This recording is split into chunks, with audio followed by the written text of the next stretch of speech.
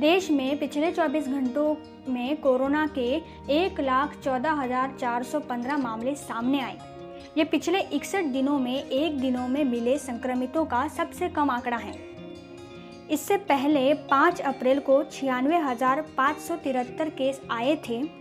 वहीं पिछले 24 घंटों में दो हज़ार छः सौ इक्यासी मरीजों की मौत हुई और एक लाख नवासी हज़ार नवासी लोगों ने कोरोना को मात भी दी है।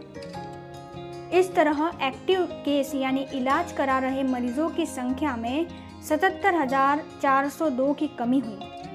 पिछले दस दिनों की बात करें तो तो एक्टिव केस में नौ लाख बयालीस हज़ार चार सौ चौबीस की कमी कमी हुई है, रिकॉर्ड की गई है।